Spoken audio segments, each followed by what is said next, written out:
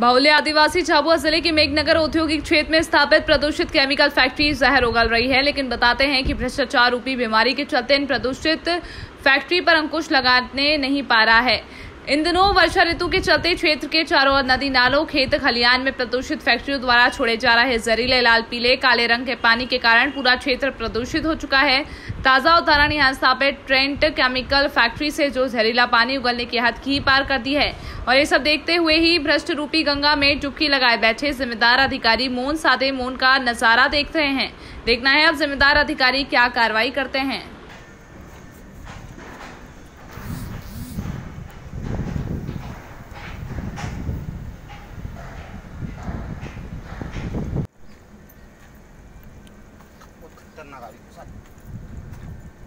अरे भैया साहब आके गेट में लग पड़ा